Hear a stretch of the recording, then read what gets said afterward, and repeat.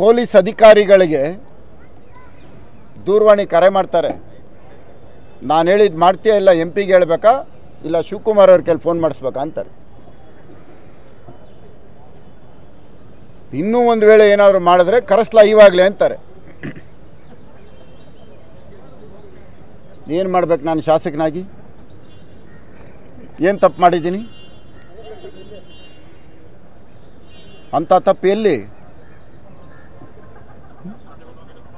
ಕೆರೆ ಕಾಮಗಾರಿಗಳು ನಿಂತಿದೆ, ಶಾಲಾ ಕಟ್ಟಡಗಳು ನಿಂತಿದೆ, ಫ್ಲೈಓವರ್ಸ್ ನಿಂತಿದೆ, ಹಾಸ್ಪಿಟಲ್ಸ್ ನಿಂತಿದೆ.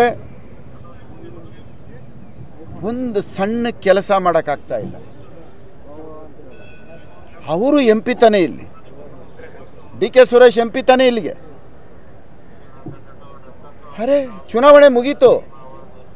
ಅದು ಬೇಡ. ನೀನು ನನ್ನ ಎಂ ಎಲ್ ಎ ಬಾ ಜೊತೇಲಿ ಕೆಲಸ ಮಾಡೋಣ.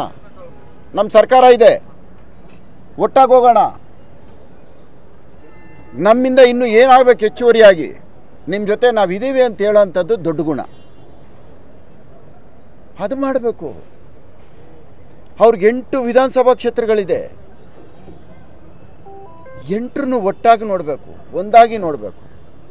ಅವ್ರು ಎಂ ಎಲ್ ಎ ಇಲ್ಲ ಅಂದಿದ ತಕ್ಷಣ ಅವನು ಬೇರೆಯವನ. ಈ ಬೆಂಗಳೂರು ನಗರದ ಒಬ್ಬ ಶಾಸಕ ತಾನೇ ಇಷ್ಟೊಂದು ದ್ವೇಷ ಯಾಕೆ? ಅದಕ್ಕೋಸ್ಕರ ನಾನಿವತ್ತು ನೂರ ಇಪ್ಪತ್ತಾರು ಕೋಟಿ ತಡೆ ಹಿಡ್ದಿರೋದ್ರನ್ನ ನಾನು ಬಿಡುಗಡೆ ಮಾಡಿಕೊಡಿ, ಮತ್ತೆ ನಮ್ಮ ಕ್ಷೇತ್ರಕ್ಕೆ ಅಂತ ಅವರಲ್ಲಿ ಕೇಳ್ಕೊಳ್ಳೋದಕ್ಕೋಸ್ಕರ ಒಂದು ಉಪವಾಸ ಸತ್ಯಾಗ್ರಹ ಮಾಡೋದಕ್ಕೆ ನಾನು ಇವತ್ತು ಎರಡು ಗಂಟೆವರೆಗೂ ಇತ್ತು.